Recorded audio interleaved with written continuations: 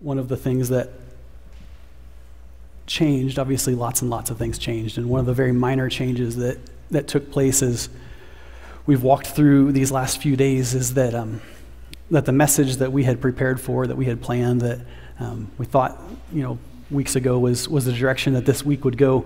Um, that's for a different week. Uh, so we'll, we'll, at some point that we'll, we'll, we'll talk about, about those pieces. But as I have sat with these families, as I have walked with our staff, as we've walked as a church through all of these, uh, the circumstances of the last few days, it's just been very clear that, that God had a very different conversation for us this morning. That there's a, a passage of scripture that He has continued to bring into mind. It's shown up at, in bedside conversations with people who are grieving and healing. It's been part of just the, the, the journey through these last few days. And so this morning, we're just going to, we're going to open God's Word. We're going to listen to what He has for us in this story. But the reality is, what we're going to hear is that is also is an invitation for us to, to get closer to Him. And so we're going to be in, in Matthew chapter 14. And this story, this story begins in, in the echoes, in so many ways, in the echoes of, of one of Jesus' most well known miracles. It's in the echoes of, of the feeding of the 5,000. The disciples have, have been with Jesus. They've, they've seen these, these miracles that have happened. They've experienced this extraordinary moment as Jesus took a, a handful of, of bread and some fish and, and broke it and fed person after person after person. And it's at just the, about the same time as all of this is happening, this miracle is happening, that, that the disciples are, are really starting to get a glimpse into, into who Jesus actually is. They're beginning to feel confident in, in who he was. They're, they're beginning to understand what they should expect as they, as they walk with him, as they, as they journey with him and, and go from town to town, and the crowds gather and the crowds respond, and, and people are beginning to, to know who Jesus is, and they're, they're getting this front row seat to, to all of Jesus' earthly ministry at this point. And then they experience the storm. Right? And then they experience this moment that that causes them to question all the pieces of, of what they've experienced and cause them to forget what, what they have already learned. And as Matthew writes this story, as he's now years removed from, from the experience on, on, the lake, he's putting pen to paper and he's, and he's writing the story of, of this moment in the disciples' life of, as they've journeyed with Jesus. And the transition between miracle and, and the storm is, is so abrupt right? In, in just a few sentences, the disciples that go from, from cleaning up the, and celebrating this, this miracle that has happened right in front of their eyes, that they've gotten to be part of Jesus doing this thing that it's just utterly extraordinary. And a few sentences later, Jesus is, has, has sent them out onto the lake, has, has sent them out into this, this journey across the lake where there's a storm and all these things are happening. And, and Jesus has, has gone up to the mountain to, to pray, to connect with the Father. And it's quite literally as Jesus dismisses the crowd and retreats to the mountains to pray. In just a few sentences, we see extraordinary miracle. We see the, the cleanup, the work that the disciples are doing. We, we see the stats, right? That this is what's left over after all of the, the, the feeding of all of these people has happened. It's the boat. And then the disciples find themselves in the storm. And so this is a story of, of real people who are, who are wrestling with with big questions and wrestling with big moments in their lives. This is a story of, of some men in a boat as they're going across this lake and they're experiencing this storm and they're trying to make sense of who Jesus is, right? What it means to be his follower, right? All the same kinds of questions that, that maybe felt settled on, on one side of the storm, but now that the storm is happening, they're wrestling with questions like, how do we handle the storm when in this moment it feels like Jesus is just so far away? And they're wrestling. And so we look at this story and we say, this, this story feels familiar. Right? Not because we're aware of the, of the circumstances of, of the, the exact details of the story, but because we know what it feels like to be in the storm. We know what it feels like to, to feel like, like, like God is, is a long way away from us and we're experiencing a storm, this unexpected moment, and we're, we're shell shocked and we're confused and we're trying to make sense of all of it. What do we do what do we do when Jesus seems like he is far away and we are in the middle of a storm? Matthew 14. Immediately, right? This is just the aftermath, the direct aftermath of, of the feeding of the 5,000. It says this Immediately, Jesus made the disciples get into the boat and go on ahead of him to the other side while he dismissed the crowd. And after he had dismissed them, he went up on the mountainside by himself to pray. And so this story starts with, with the miracle, right? It starts in the, in the echoes of, of the miracle, but, but there's two settings that, that are particularly important. We have the story that, that starts with, with Jesus on the mountain, right? That he has retreated, he's on, in the mountain, and he's gathered with his father in the, in the middle of the mission, right? Well, well, all these kinds of things are happening around him, and miracles and, and storms and, and all the things that are part of his earthly ministry. Jesus pauses, goes into the mountain to reconnect and make sure he stays connected with the Father. So Jesus is on the mountain, and the disciples, the disciples are in the boat. And the recording that we have of this story, as Matthew puts pen to paper and, and, and tells the story of, of what occurred as the disciples navigated the, the situation that they found themselves in, it's written from the perspective of the disciples. And so it becomes an experience and a memory that's, that's shaped by their perception of distance, right? It's shaped by, by the choices that they make throughout the process and, and the circumstances that they find themselves in. So it says this later that night. Later that night, he was there alone, right? Jesus was the, on the mountain alone, and the boat was already a considerable distance from land, buffeted by the waves because the wind was against it. Before this story was a Bible story. Before this story was, was recorded and became part of our scripture, became a sacred part of, of our experiences as followers of Jesus, this story was was a memory and a conversation that the disciples would have had over and over and over again around campfires on the beach, around dinner tables as they, as they told the stories of, of the kinds of things they experienced as they, as they followed after Jesus in the, in the years that would have followed between the experience that they had on the lake and when Matthew wrote his letter to the church to, to encourage the church that was that was being persecuted, that was experiencing hardship, that was going through its own storm, as Matthew records the story of of Jesus' ministry. That the echoes of the sense of distance, because it's written by men who remember, even with years of clarifying experiences, as the disciples continued to walk with Jesus through other experiences, saw other miracles, were, were formed in ways along the way in conversations that would build their faith. That, that when they told this story, even years later, as it's, as it's finally being written down and, and recorded in writing for, for it to be preserved across generations, that there is still a sense of distance. You can still feel the distance that they felt between them and Jesus as they navigated the storm. Because what we see in this story and the way that Matthew records these sentences is is that what they seem to know and what they seem to be, to be able to really get their hands and, and heads around is that, is that Jesus has gone up the mountain and he has sent them across the lake. Jesus and them. And so this shows up in the language that they use. They use words and phrases like, Jesus was on the mountain alone. And we were a, considerable distance across the lake, right? There is, there is considerable distance that that the, the wind and the waves were, were against them, right? And the language that they're using shows the isolation that they felt, shows the, the despair that they felt, and the distance that they felt. And Matthew, as he's recording this, may not have even realized the, the tone of what he was writing, but, but the struggle is clear. And so it would be easy for the disciples to see this, this story as, as really three stories, as, as a bigger story that has these three stories in it. We have, we have the miracle, right, which is gives context for all of this.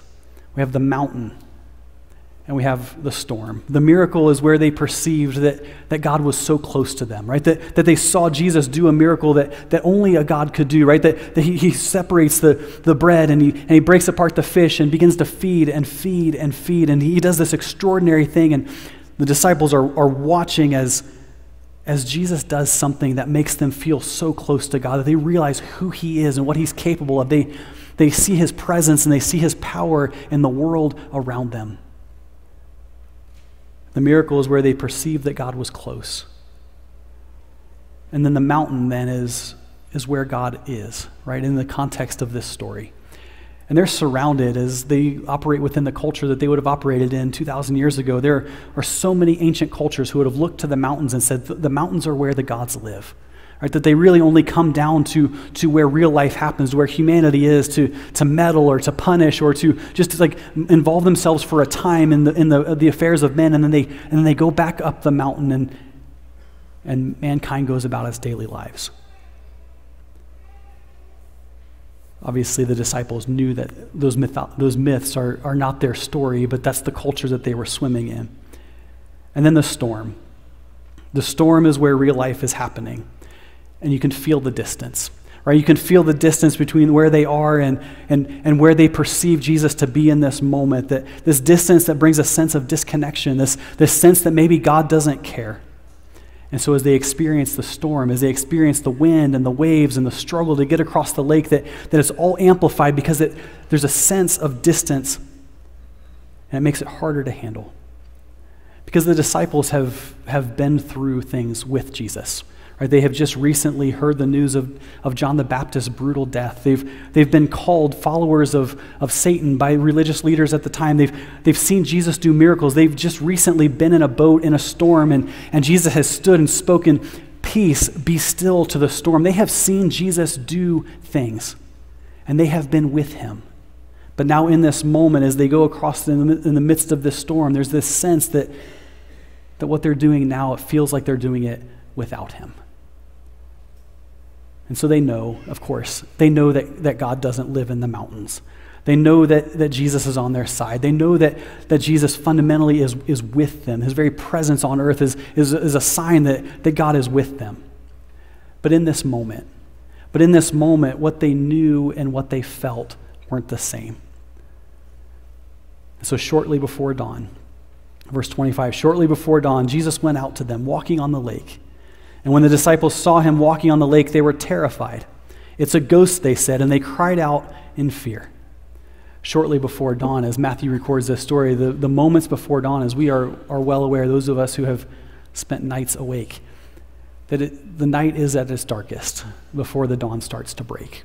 Right? That the, the, the night and the, and the length of time that we've experienced darkness is it's when the night has felt long just before the dawn begins to break. And so, this is the context in which this moment in the story happens. And so, here, has, here is Jesus, who has done miracles before, who's now stepping into this story in a new way, making his identity abundantly clear.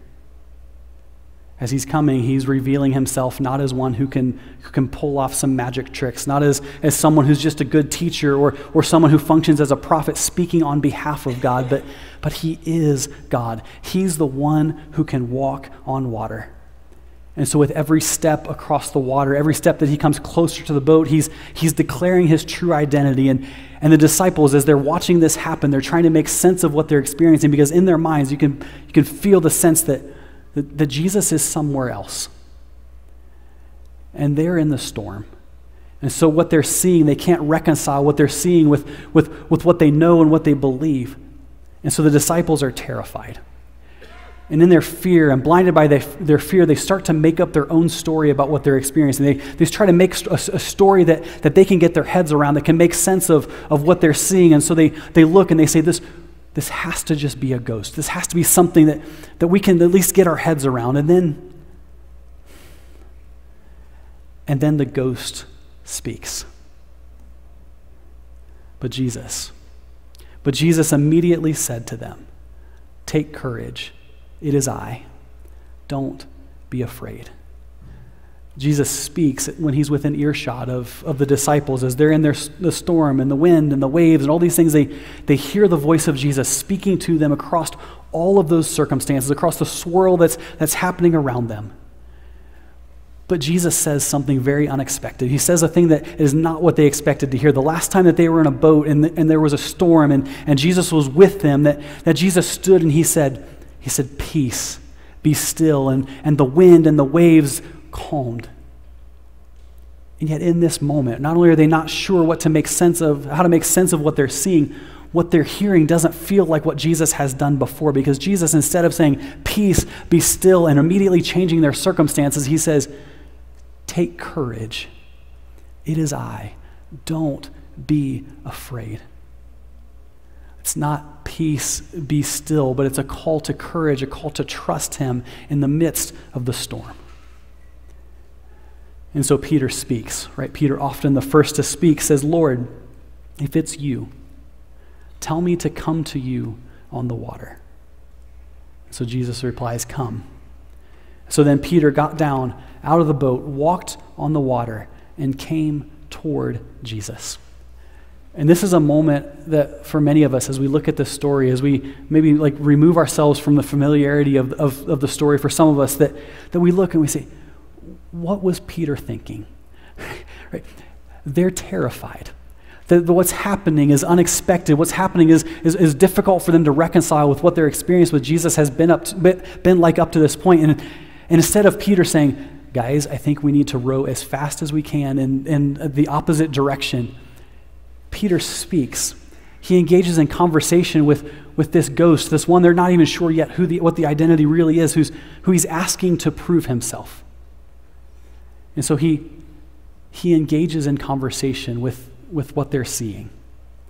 And what he says is, is so interesting because he, he asks Jesus to prove himself by asking Jesus to invite him to come closer right? Which is an incredible risk, right? It's an incredible risk because if, if it is just a ghost, if it isn't who, who he's claiming to be, that, that Peter is putting himself in extraordinary danger, right? If he's, if he's saying, if it's, if it's really you, then, then ask me to put myself in, in peril, right? Ask me to step out of the boat and into the storm and into the water where, as a fisherman, Peter would have been very, very familiar with what, with what happens when a fisherman leaves his boat in the middle of a storm.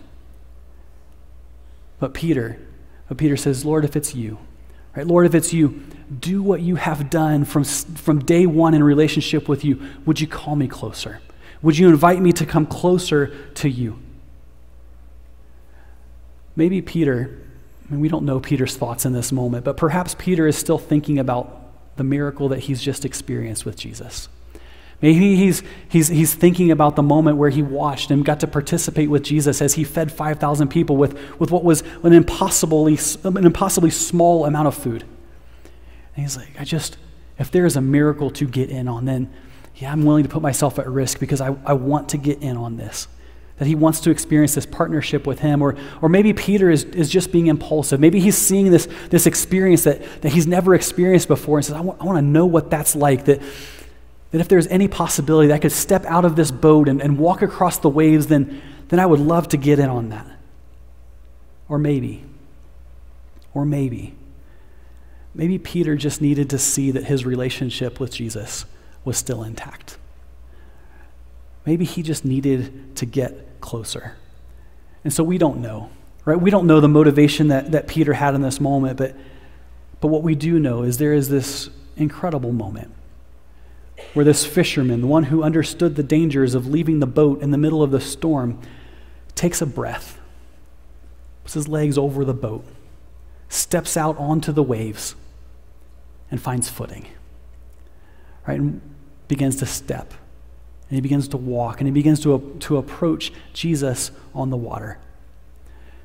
But whatever thrill that, that Peter may have felt by defying the laws of physics and the natural world as he understood it, quickly gave way to something different, quickly gave way to fear in the midst of the storm. Because it says this in Matthew 14 30. But when he saw the wind, he was afraid, and beginning to sink, he cried out, Lord, save me. And immediately, and immediately Jesus reached out his hand and caught him. He said, You of little faith, why did you doubt? And so Peter wasn't scared of what we might think that Peter would have been scared of. Right? That, that Peter wasn't scared of the fact that he's standing on the lake. Right? That would have been an unsettling experience for him. That, that all of a sudden now the, the very rules that, that he had operated within the physical world has, has now been bent in a way that is irreconcilable with, with what he understands about, about the way the world works. He wasn't scared even about what this miracle could mean, right? What, what does it mean that if Jesus can call me in the midst of a storm to, to step out and to be able to walk on water, then then if this is preparation for whatever might come next, what could he be calling me to next that's, that's going to be even more extraordinary, that might require even more of me than, than, than what this moment has required of me? If this is possible, if this is possible, what might Jesus ask of me next? But Peter doesn't seem to be scared of any of those things. Peter seems to be scared, and Peter is scared of the storm, right? The circumstances in which this miracle is happening. Something that, that is a fisherman who has spent many, many years on, on a boat who has experienced many, many storms, is, is scared of the storm, right? He has survived every storm that he has encountered in a boat from, from, from the, the entirety of his life. And yet that becomes a thing that he's afraid of. His focus isn't on the adventure that Jesus is inviting him into. His, his focus is on the circumstances and the challenges in which the adventure is taking place. And so, what I see, I think, in this moment might be for, for many of us, and I'm not alone in this, this might be one of the most discouraging moments within this whole story because, because Peter doesn't seem to get credit for trying. He doesn't seem to be graded on the curve. Like he gets back in the boat and, and could say something like, well, guys, at least I tried, right? Jesus doesn't, doesn't like attempting to walk on water, attempting to come toward you, doesn't that get me some sort of like participation trophy or some kind of like reassurance that, well, at least I tried? But what we see is like what is not what many of us would do, where we might try to excuse our own missteps by saying, well, at least I tried, or hey, I took more steps than everybody else managed to take coming out of the boat, and we like compare ourselves to, to those around us. Because this passage strips any kind of comparison, strips any kind of desire for, for being graded on the curve away. Because as Jesus is concerned, there's there's the faith of the disciples, including Peter, and there's, there's not a distinction that's being made in the midst of all of these things. That every single one who's participating in this story was, was being invited to grow in faith, to grow in a deeper version of faith that would carry them through the difficult things that would, that would mark their journey with and being sent by Jesus. And the good news the good news is that when Peter's faith was little, right, when Peter's faith was little, and even when it was sprinkled with doubt, that it was enough because, because Jesus is enough. That when he cried out, that Jesus took hold of him and, and pulled him out of the water, that, that our faith, our faith, what Peter is learning in this moment is our faith isn't proven by our willingness to walk on water. Our faith is proven by, by trusting in the midst of the storm. And so Peter is experiencing something that has played out in the bigger story. We look at these moments where we have the, have the miracle, the, the, big, the bigger story, the, the miracle that, that, Jesus is, is working with the feeding of the 5,000. And we've got, we've got Jesus, or Peter with the, the moment that, that feels like the mountain, the distance between him and Jesus. And then we, and then we have the storm, right? Peter experiencing the, the three elements that are part of the bigger story, now made personal and, becoming a personal experience for him of this story. And just like in the bigger story, Peter is learning to see all of it differently. Learning to see that, that Jesus is with him, that, that it's not that Jesus is just with us in the miracles when we have these tangible moments where we, where we see Jesus at work and we see God at work in the world around us and we feel close to him, but, but Jesus is with him in the midst of this storm. And then Jesus asks the big question you of little faith, why did you doubt? And the disciples have heard this before. This is the same thing that Jesus said when he calmed the water in their first storm experience. He says, So, so you have little faith. Why did you doubt? But, but just like we are, they're forgetful people. They need to be reminded. But if there's little faith, if there's little faith, then there must also be bigger faith. Right? And this becomes then a question that, that invites them to lean in, that invites them to, to take hold of something that, that could change their lives as they move forward, to, to look at this moment like so many other conversations with Jesus where, where Jesus says, so, so this is where we start. And from here, we begin to build this bigger faith. From here, we, we invite you, I invite you to, to keep getting closer. And so we see this invitation and the question to, to a bigger faith and to to confidence in Jesus regardless of the circumstances. And when they climbed into the boat, when they climbed into the boat, the wind died down, and then those who were in the boat worshiped him, saying, Truly, truly, you are the Son of God. And so the other disciples began to own the, the things that they have felt, begin to own the, the things that they've experienced. And they begin to fully embrace the identity of Jesus, the, the this is this is I, right? I am, I am walking to you on the water. The, the it is I statement that Jesus made coming across the water, now, now fully embraced by the disciples as they, as they step into this moment. Jesus giving them eyes to see that God wasn't closer to them at, at any other point of the story than he is in this specific moment. That, that the, the idea that, that, that Jesus and, and, and, God are on the mountain, that, that God is active in the miracles and, and leaves us to figure out the storms by themselves, that all fades away and they just simply worship Jesus for who he is. That, that God, this is not a story of God having moved closer to them. This is a story of, of them getting closer and closer and closer to the heart of God. And so there's the bigger story. there's the bigger story and the mountain and the miracle and, and the storm. And then there's Peter's experience of, of a version of this miracle with his own version of what that mountain feels like and, and the miracle and, and the storm. And then now, 2,000 years later, 2,000 years later, here we are, and, and we have our stories. But we are part, but we are part of a big story. We are part of a big story in a way that the disciples, as they experienced what they've experienced, as they, as they walked with Jesus and saw the fullness of, of what his earthly ministry looked like, could not imagine the big story that we're invited into. So if we take one step back and we look at this through, through the lens of, of a much, much bigger story, that, that we look and we have this miracle Jesus with us, right? For a time, 2,000 years ago, taking on flesh, dwelling among us, working miraculously, living and dying and raising himself from the dead for us, leading the way through death for us. This, this miraculous moment in, in, within human history. And then he goes to be with the Father. While he sends the church out. And as the church goes and experiences the turmoil and the turbulence and the, and the difficulties and moving toward hope, but, but getting at it slow because of the wind and the waves, that, that over time there begins to feel like there's a distance between, between where we are and where God is. That we get so comfortable with the story that, that Jesus is, is up there, that Jesus is with the Father, that he's distant, that, that when it comes to these kinds of moments, as we, as we move forward as, as the church, that that when Jesus begins to move and we begin to perceive him and see him come closer and closer and closer, that, that we have to try and figure out how to make stories that, that can try and make sense of, of what we're experiencing. And so, so there's the big story. And then there's our story within the big story. And we have these moments, right? We have these moments where there are these good times. We have these moments that feel like miracles, that, that feel like we're, we're lighthearted and, and God is with us and we're experiencing the, the, His goodness and His grace in our lives. And then and it feels like we're, we're in these other moments where we're in the storm. And we start to, to step into that same story that says, so, so God's up there. He's so far.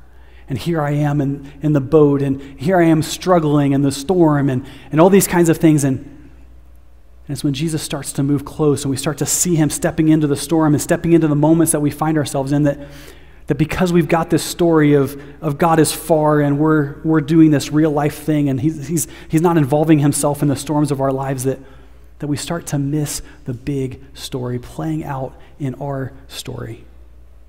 And so it's in this. It's in this that we hear the, the words of Jesus spoken across the wind and the waves. He says, So take courage. It is I. Do not be afraid. He says, Come. Right? Come closer to me. That he asks the question, You of little faith, why did you doubt? And all of these moments, these words that Jesus speaks, as we, as we insert ourselves and we understand our story within the context of, of the big story and the, and, the, and the bigger story and, and the stories of those who have gone before us, that, that we realize that in, that in all of this, that in all of this, this is an invitation to to a bigger faith and to a confidence in Jesus that, that takes us through all sorts of circumstances, to trust Him in the storm, to step out on the water even when the wind and the waves are swirling, even when we're not sure the, how to make sense of, of what we're seeing and who it is that's, that's speaking to us and calling us to obedience, and to get closer to Him in the process. Because big faith because big faith and confidence in Jesus happens in the storm, and it's not a matter of stepping out of the boat or, or walking on water. It's keeping our eyes on Him, of following when He says come, of, of trusting His presence and trusting His invitation to us. Leaning on the good news that, that even little faith, even with some doubt sprinkled in as we try and make sense of the storms, that it's enough because Jesus is enough. And so if you're in the storm, as so many of us are. If you're in the storm, this is, this is an invitation to, to fix your eyes on Jesus, to trust Him in the midst of the storm. If, if you're not in the midst of a storm, if you're coming out of a storm, or if you just experience those kinds of things, this is an invitation to, to hear the question what rose up in me that, that caused me to doubt? to allow Jesus to do what he did with the disciples, to, to look back at these experiences and say, so, so how do I grow a bigger faith? How do we get closer to him in all of this? To quiet ourselves before God and to let him speak, to let him reveal himself as present with us in all circumstances. Because he is with us, he is close, and he is inviting us to get closer to his heart, to a to a big faith and a confidence, to confidence in Him.